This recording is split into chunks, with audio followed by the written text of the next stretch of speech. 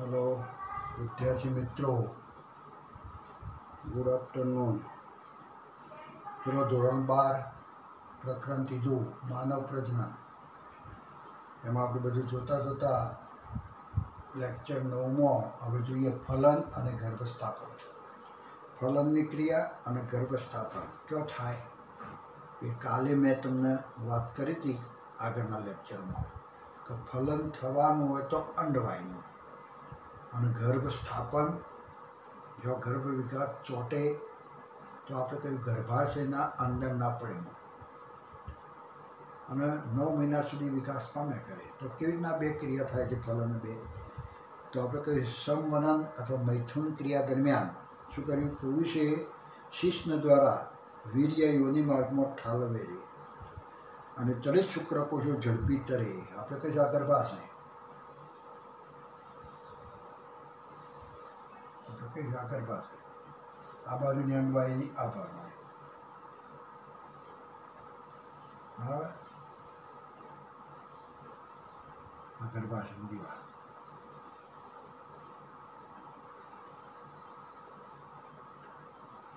આ પડ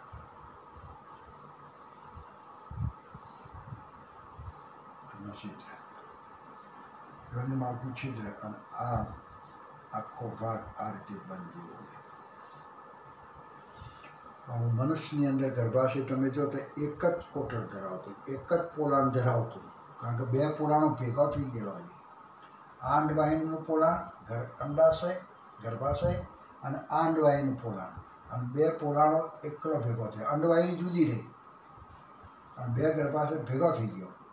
વચ્ચે કોઈ પડદો કે વચ્ચે કોઈ ખોચો, કશું જ નહીં. એક જ પોલાણ બન્યું એટલે આપણે આવું ગર્ભાશય એટલે માનવમાં રહેલું ગર્ભાશય સરળ પ્રકારનું ગર્ભાશય અને આ ગર્ભાશયની અંદર ત્રણ પડ હોય ને, ત્રણ. આની અંદર ત્રણ પડ એમાં સૌથી અંદરનું પડ તો એન્ડોમેટ્રિયમ. સૌથી અંદરનું પડ એટલે આ રીતે આ એન્ડો આવા ત્રણ પડ હોય.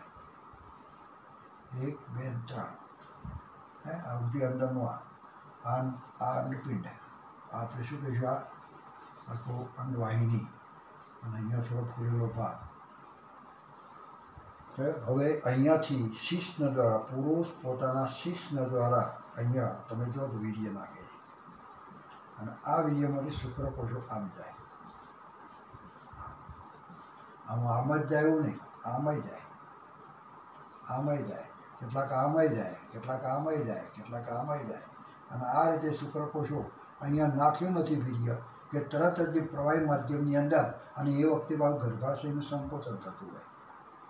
આમ સંકોચાય. સંકોચન કે જેના કારણે અનપ્રવાહી માધ્યમ, જેના કારણે શુક્રકોષો ચાલતા ચાલતા, તરતા તરતા અન્નવાહિનીમાં આવે. અને એ વખતે અહીંયાથી અન્નકોષ અહીંયા આવેલો હોય. અને અહીંયા બે ભેગા થવાના. એટલે એ રીતે બંને ચડે છે, તરે છે. અને ગ્રીવા દ્વારા ગર્ભાશયમાં પ્રવેશે. ચલિત શુક્રકોષો ઝડપી તરે મુક્ત થાય અને ક્રિયામાં થઈ અને શુક્રકોષો અંદર આવ્યા. અહીંયાથી નાખે, તો ક્રિયામાં થઈ શુક્ર આ આ આ વીર્ય અંદર આવ્યું અને એમાંથી શુક્રકોષ ચાલતા ચાલતા આગળ જાય.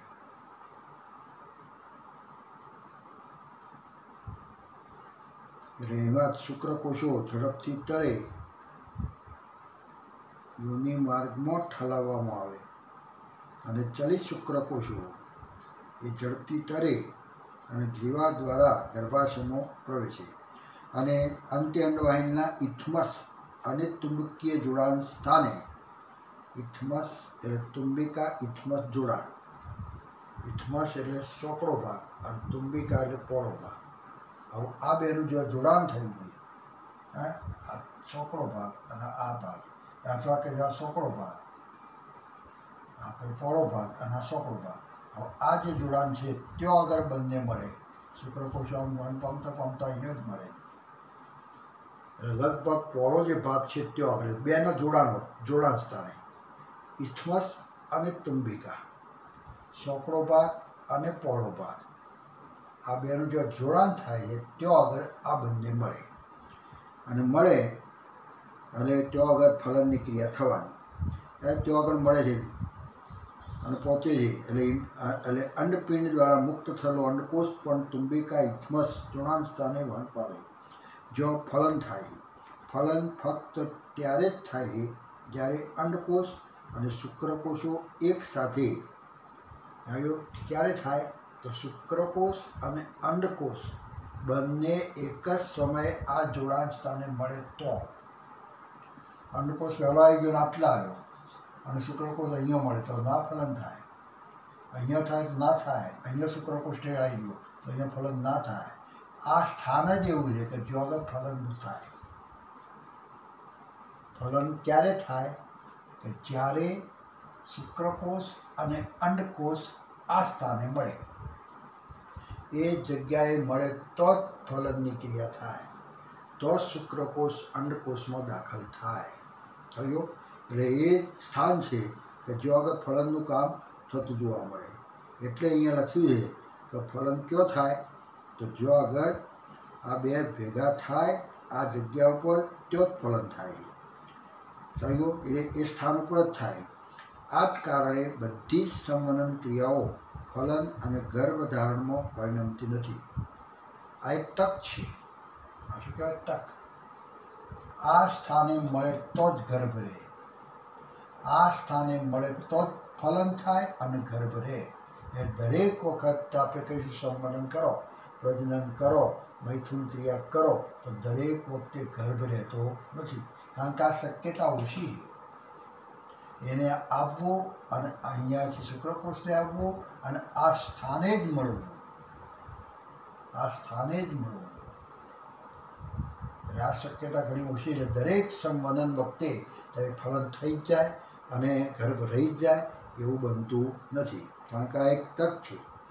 આ એક્યુરેટ ટાઈમે જ અહીંયા બેને મળવું એ જરૂરી છે. ફલન કરવું હોય અને આ કરવું હોય, તો આપણે કહીશું આ આ સ્થાને મળવું જરૂરી છે.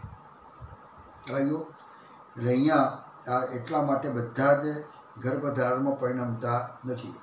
શુક્રકોષના અંકોશ સાથેના જોડાણની પ્રક્રિયાને ફલન કહે છે. શુક્રકોષને અણકોષ, શુક્રકોષ અંકોષમાં દાખલ થવો. બરાબર? અને એ ક્રિયાને આપણે કહીશું ફલન. એની સાથે જોડાઈ જવું. એના કોષ કેન્દ્ર સાથે અંકોષના કોષ કેન્દ્ર સાથે શુક્રકોષનું કોષ કેન્દ્ર જોડાઈ જવું. એને કહીશું ફલન. ફલન દરમિયાન શુક્રકોષ અંકોષના જોના પહેલી સુધીના સંપર્કમાં આવે. સૌથી પહેલું કયોના સંપર્કમાં આવે? તો પહેલું પડ કયું? સૌથી બહાર જે આપણે અનુકોષની રચના જોઈ હતી અનુકોષ હતો ને, તો આપણે કે આમ એના પર આ રેટેલાઇન પડ જોના પહેલી શીડા જોના પહેલી શીડા, પછી એના કારણે કોરોના. આવા કોષો બતાવ્યા છે ને? તો એ કોષો, તો એ બધા આપણે એટલે કોરોના રેડિયેટાના કોષો, પછી આપણે કહીએ જોના પેલ્યુસિડા પછી આપણે કહેતા હતા તો પેલું એક પડ અંદરનું જે કહ્યું ને આપણે પેરીવેટેલાઇન અવકાશ અને ચાલી ગયું પેરી વેટેલાઇન અવકાશ અને અંદરનું અંડપડ. એટલે જોના પેલ્યુસિડા ઉપર હોય. અંડકોષ અંડકોષ ઉપર જોના પેલ્યુસિડાના સંપર્કમાં પહેલો શુક્રકોષ આવે. આના સંપર્કમાં આવે જોના પેલ્યુસિડા આના સંપર્કમાં આવે. આ રીતે આ જે પડે છે ને એના પર, આ જોના પેલ્યુસિડા છે જોના પેલ્યુસિડા આના સંપર્કમાં શુક્રકોષ આવે મારો આ શુક્રકોષ જોના પેલ્યુસિડાના સંપર્કમાં આવે. અને પટલમાં ફેરફારોને પ્રેરે છે. એ પટલ છે ને, અંદરનું પટલ, કયું પટલ? તો અંડપટલ અંડકોષ, પટલ અંદરનું એ કોષના કોરે મળે રહેલું કોષ. કોષ રસ્તા એમાં જરા ફેરફારો સર્જે જે અન્ય શુક્રકોષના પ્રવેશને અટકા એવા ફેરફારો થાય, એવા ફેરફારો થાય કે એક શુક્રકોષ અંદર ગયો હોય તો બીજો શુક્રકોષ જઈ શકે નહીં. હાલ તમે જો આ પડી છે ને આ પડ, અને પટલ છે, હા, તો એની અંદરથી શુક્રકોષ જતો રહેશે. કયું આના સંપર્કમાં આવે ત્યારે આ પટલમાં થઈને શુક્રકોષ અંદર જતો રહે જાય અંદર. પણ પછી એવા ફેરફારો થાય એ દરમિયાન એવા ફેરફારો થાય છે કે જેથી બીજા શુક્રકોષો જાય નહીં. એટલે એક શુક્રકોષ દ્વારા એક અંડકોષનું ફલન થાય છે. કયો એટલે આપણે સાવ અંદર જવાનો કેટલા? તો એક જ શુક્રકોષ અંદર જાય. અને કારણ શું? કારણ કે એ દરમિયાન અંદર ગયા પછી એ જે કોરેમરે અંડકોષ પટલ છે ને, એમાં કેટલાક ફેરફારો થાય. કે જેના કારણે બીજા શુક્રકોષો થઈ શકતા નથી. એટલે આથી સુનિશ્ચિત થાય છે કે ફક્ત એક જ શુક્રકોષ એક અંડકોષને ફરજ કરે છે. શુક્રકોષ એક એક જ અંડકોષને ફરજ કરે છે. શુક્રાગ્રનો સ્ત્રાવ શુક્રકોષને અંકોષના કોષરસમાં જોના પેલિસ્યુડા અને કોષરસ પટલ મારફતે પ્રવેશ કરવામાં મદદ કરે અંદર જવામાં. જોના પેલિસ્યુડિયમમાં અને પહેલામાં બંનેમાં કાણું પડે કાણું. કારણ કે શુક્રકોષના આગળના ભાગે હાયલી રોડીને જ ઉત્પન્ન થાય કયો? તો હાયલી રોડીને જ ઉત્સેચક છે. અને એ ઉત્સેચક એ પડને ઓગાળે તો પાચન કરી દે. કે જેના કારણે એક હોલ જેવું બને ને એમાં થઈ શુક્રકોષ દાખલ થતો હોય. જે દ્વિતીય પૂર્વ અન્નકોષના અભિકરણની પૂર્તતાને પ્રેરે છે. હવે શું થયું? શુક્રકોષ અંદર ગયો. એટલે પહેલો જ ફેરફાર કહીશું અનુકોષ પટલ ઉપર ફેરફાર કે જેથી બીજા શુક્રકોષ જાય નહીં. પણ બીજો ફેરફાર શું થાય? કે આ દ્વિતીય પૂર્વ અંડકોષ છે. આ જે બહાર આવે દ્વિતીય પૂર્વ અંડકોષ છે. શુક્રકોષ અંદર જાય ત્યારે એ જે અંડકોષ જનનની ક્રિયા જે અધૂરી હતી એ પૂર્ણ થાય. અપરિપક્વ અંડકોષ જે હતો દ્વિતીય પૂર્વ અંડકોષ એટલે પુખ્ત અંડકોષ નથી, આ દ્વિતીય પૂર્વ અંડકોષ અપ, અપરિપક્વ છે. તો એવા અપરિપક્વ અંડકોષમાંથી પરિપક્વ અંડકોષ બનવા માટે શુક્રકોષ દાખલ થયો, તેના કારણે થાય. એટલે એની પૂર્તતા ક્યારે થાય? પરિપક્વ અંડકોષની પૂર્તતા ક્યારે થાય? શુક્રકોષ દાખલ થાય ત્યારે આમાં. ત્યારે પરિપક્વ અંડકોષ બનતો હોય. એ પૂર્તતા પૂરી થઈ ગઈ. અર્ધીકરણની પૂર્તતા પૂરી થઈ, અર્ધીકરણ થયું અને અંડકોષ બની જાય. દ્વિતીય અર્ધીકરણ પણ અસમાન કોષોમાં પરિણામે દ્વિતીય ધ્રુવકાય અને એકકીય અંડકોષનું નિર્માણ થાય. ત્યાર પછી અંડકોષ બને અને એની સાથે એક ધ્રુવકાય પણ બને છે. એક ધ્રુવકાય. અને પેલો એક અંડકોષ પુખ્ત અંડકોષ બન્યો કહેવાય. કયો એ પુખ્ત અંડકોષ તરત શુક્રકોષનું એક કોષ કેન્દ્ર એકકીય કોષ કેન્દ્ર અને અંડકોષનું એક કોષ કેન્દ્ર જોડાય અને દ્વિતીય ફલિતાંડ રચાય. પછી બે જોડાય શુક્રકોષ દાખલ થયો, પણ કોષ કેન્દ્ર મળતો નથી. થયો કોષ કેન્દ્ર મળતો નથી. મળે ત્યારે ફલિતાંડ બને. અને એ ફળિતાની રચના થતી જોવા મળે. આ ફલિતાંડમાં કેટલા રંગસૂત્રો છે? શુક્રકોષ અર્ધીકરણથી બને તો અંડકોષ અર્ધીકરણથી બને તો એટલે એન એન હશે. અને વળી પાછા બે ભેગા થઈ ગયા, એટલે શું થઈ ગયા? Two N. એટલે એની અંદર રંગસૂત્રો કેટલા હશે? તો ટુ એન ફલિતાંડ અને એ ફળિતાણ બને છે. આ એક યાદ રાખવું જરૂર છે કે બાળકની જાતિ આ તબક્કામાં નક્કી થાય છે. કયા કયા રંગસૂત્રો મળે છે? એક્સને એક્સ મળ્યા હોય તો? શુક્રકોષ એક્સ અને અંડકોષ પણ એક્સ બે મળ્યા હોય તો? તો વિફલન થઈ અને જે વિકાસ પામે ફલિતાળ બનીને, તો એમાં શું બને? તો પુત્રી, માદા. અને શુક્રકોષ વાય હોય અને અંડકોષ એક્સ હોય તો? તો બે ભેગા થાય તો? અને સંયોજન જે ફલિતાંડ બને તો? તો કયું બનશે? તો એક્સ વાય તો એનો વિકાસ થઈને એમાંથી બનશે નર પુત્ર. તો એ જે શુક્રકોષો કેટલા પ્રકારના છે? શુક્રકોષો કેટલા પ્રકારના? તો બે પ્રકારના. કેટલાક એક્સ પચાસ ટકા એક્સ ને પચાસ ટકા વાય જ્યારે અંડકોષો, તો હોય સો ટકા એક્સ કારણ કે સ્ત્રીની અંદર એક્સ એક્સ રંગસૂત્રો હોય.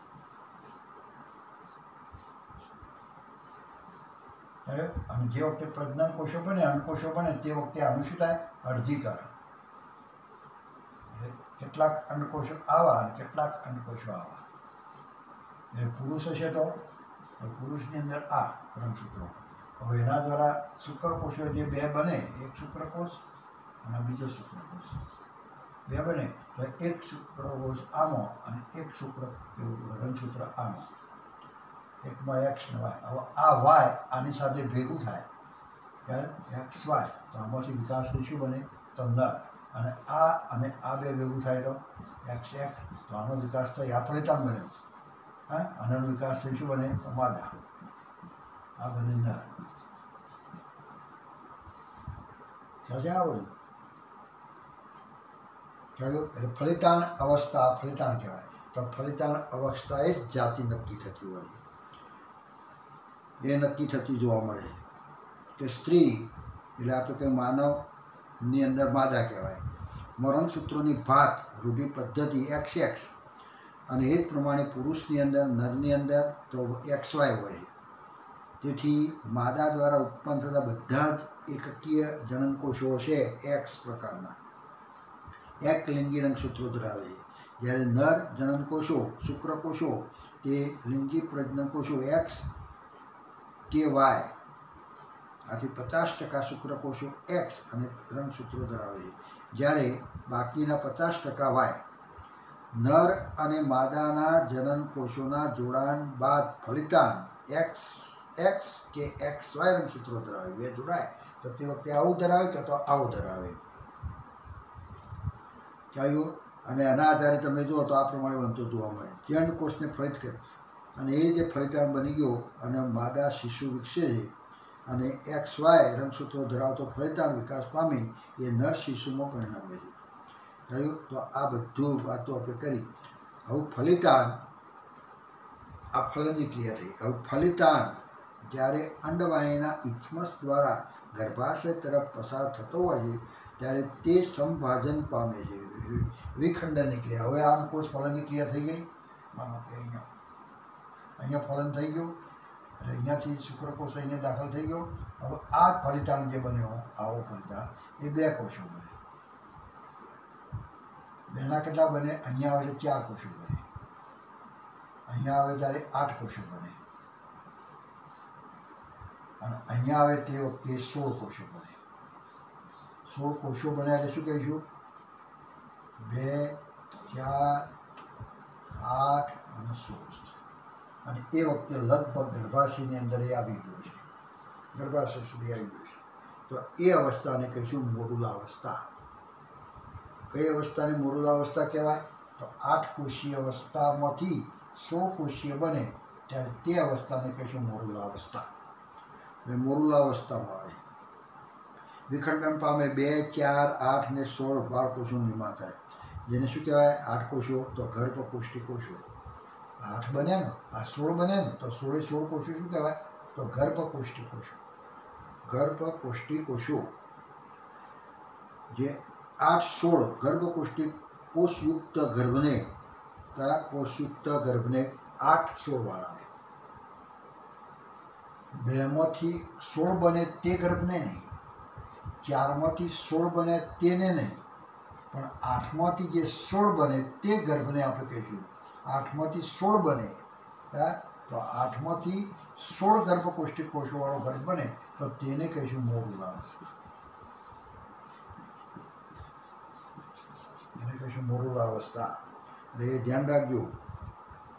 એટલે મોરુલા સતત વિભાજન પામતું રહે. પણ મોરુલા હોળ કોષો બની ગયા એટલે બંને એ મોરુલા પણ વિભાજન પામતું રહે છે બત્રીસ. બત્રીસના ચોસઠ. ચોસઠના એકસો અઠ્યાવીસ આ પ્રમાણે ગુણનમાં વિભાજન થાય અને સંપાદન થાય.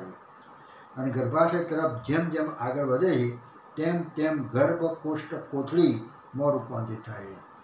આ સોળ બન્યો. સોળના આપણે કહીશું બત્રીસ, બત્રીસના એકસો અઠ્યાવીસ. અને એવો ગર્ભ જ્યારે બને, તો તે વખતે તમે જુઓ, તો તે વખતે એ આખો ગર્ભ, કોષ્ટી કોષડી કોષો હતા, એમાંથી ગર્ભ કોષ્ટી કોથળી બની જાય ગર્ભ કોષ્ટી કોષો હતા આ કોષો જ છે બધા હા એકસો અઠ્યાવીસ થયા હોય તો એકસો અઠ્યાવીસ શું કહીશું કોષો છે હવે એ જે કોષોવાળો ગર્ભ છે તો હવે એમાંથી કેવો ગર્ભ બને તો કોથળી બને છે ગર્ભ કોષ્ટી કોથળી બને કેવો હશે કોથળીવાળો ગર્ભ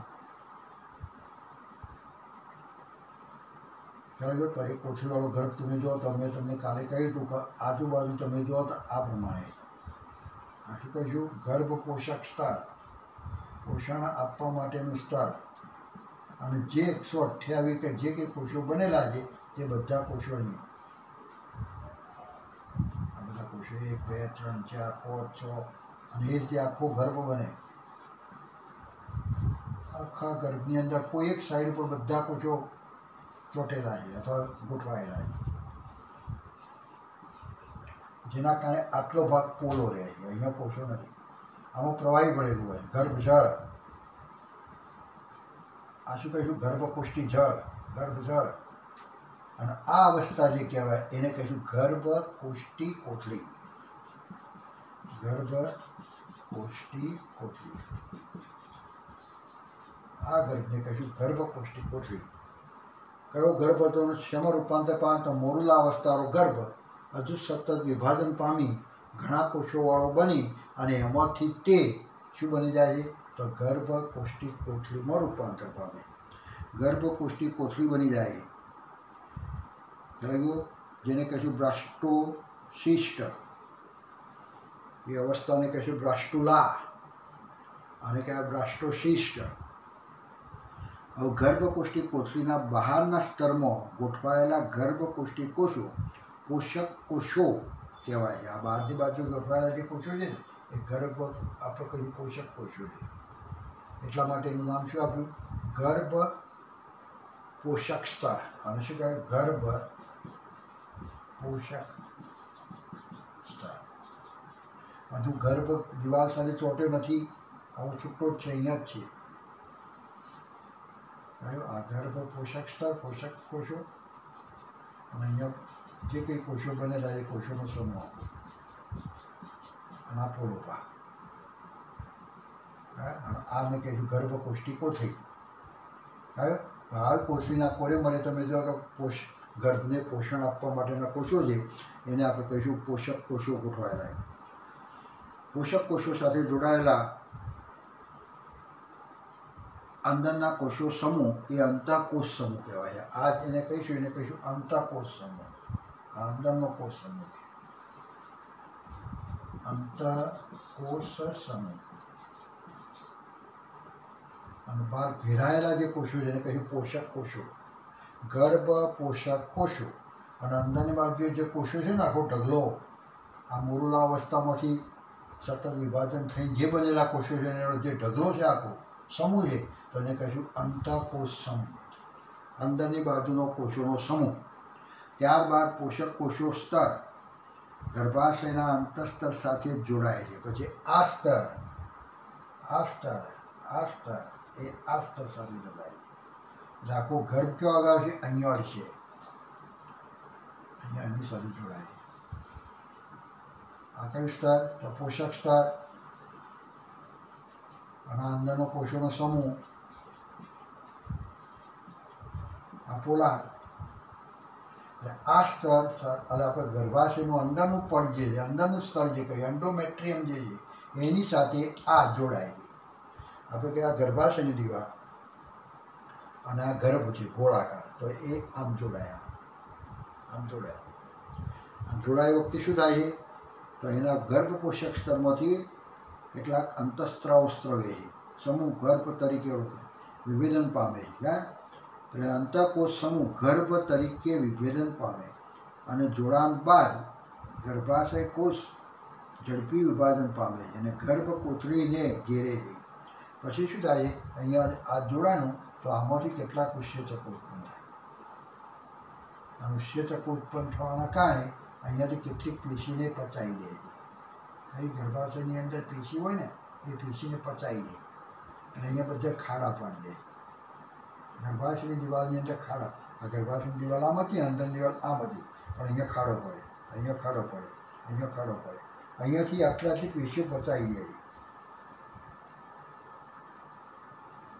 આટલી આટલી પેશીઓ પચી જાય.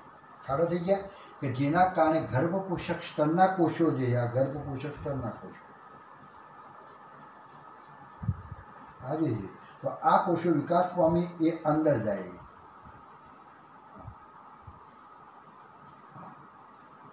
આખું ગર્ભનું કોષનું પણ આખું અંદર વિકાસ પામી અંદર જાય.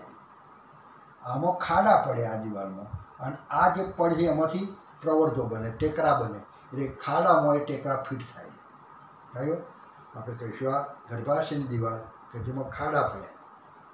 આ ખાડા. અને આ ગર્ભ છે, તો ગર્ભના ટેકરા થયા. ગર્ભ પોષક સ્તર તો એમાંથી આમ ઉપસ્યા. એટલે આપણે કહીશું ગળીઓ બની. હે? અને આની ગળીઓ આની ગળીઓમાં ફિટ થાય. જ્યારે આ ફિટ થઈ જાય, અને આ દિવાલ પણ વિકાસ પામે. આ દિવાલ પણ તમે જુઓ, તો વિકાસ પામે એના આખા ગર્ભને ઘેરે આવે. આખા ગર્ભને શું એ? આપણને એમ લાગે કે આ આ પડમાં પહેરી ગયો ગર્ભ. કહ્યું આ જે અંતર પડ હતું ને, એની અંદર ફિટ થઈ ગયું. હવે આ ગર્ભ ચોંટી ગયો કહેવાય. આ ગર્ભ જે કહેવાય સ્થાપન થયું કહેવાય. અને આ જે ગર્ભનું સ્થાપન થાય. અને જ્યાં સુધી નવ મહિના ન થાય ત્યાં સુધી અહીંયા વિકાસ પામે કરે. કહ્યું તો એ ગર્ભ સ્થાપન કહે છે એને. અને તે ગર્ભધારણ તરફ દોરી જાય છે. હવે ગર્ભધારણ થઈ ગયું. કહ્યું ગર્ભ સ્થાપન થઈ ગયું. હવે ગર્ભ ધારા- ધારણ થયું ગર્ભાવસ્થા કહેવાય. એ ગર્ભધારણ હવે નવ મહિના સુધી એ ગર્ભ ધારેલો ધારેલો રહે છે. નવ મહિના સુધી ત્યાં આગળ વળગેલો વળગેલો રહે છે, ચોટેલો ચોટેલો રહે છે અને વિકાસ પામતો પામતો જોવા ગર્ભધારણ, નવ મહિના સુધી શું કહેવાય? ગર્ભાવસ્થા. આ ગર્ભાવસ્થા કહેવાય. પેલું ચોટ્યો એ દરમિયાન શું કહેવાય? ગર્ભ સ્થાપન સ્થાપન થાય એટલેથી માંડી અને છેક સંપૂર્ણ વિકાસ ન થાય જાય ત્યાં સુધીની અવસ્થાને શું કહેવાય? ગર્ભધારણ. શું કહેવાય? ગર્ભધારણ. તો આપણે હવે ગર્ભાવસ્થા અને ગર્ભીય વિકાસ જોવો. ગર્ભાવસ્થા, ગર્ભધારણ કેવી રીતના થાય? તો ગર્ભધારણ તો એ પણ એક લોબી ક્રિયા છે અને એમાં પણ કેટલાક અંતસ્ત્રાઓના બધા ભાગ ભજવે છે. તો એ ક્રિયા આપણે આવતી વખત જોઈશું. આટલા સુધી રાખીએ છીએ. ખ્યાલ તો હા, અને પછી એકાદ લેક્ચરની અંદર આપણું આ પ્રકરણ પૂરું થશે. ખ્યાલ ગયો તો આટલા સુધી રાખીએ આપણે ચલો આવજો થેન્ક યુ